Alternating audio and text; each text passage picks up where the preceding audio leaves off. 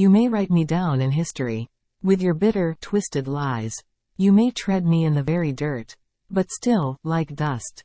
I'll rise. Does my sassiness upset you? Why are you beset with gloom? Cause I walk like I've got oil wells, pumping in my living room. Just like moons and like suns, with the certainty of tides. Just like hopes springing high. Still, I'll rise. Did you want to see me broken?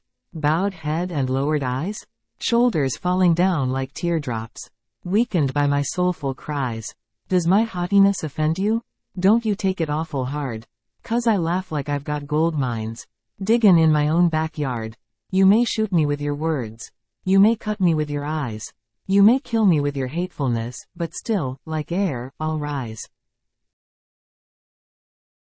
Does my sexiness upset you?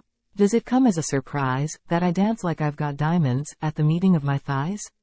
Out of the huts of history's shame. I rise. Up from a past that's rooted in pain. I rise. I'm a black ocean, leaping and wide, welling and swelling I bear in the tide. Leaving behind nights of terror and fear. I rise. Into a daybreak that's wondrously clear.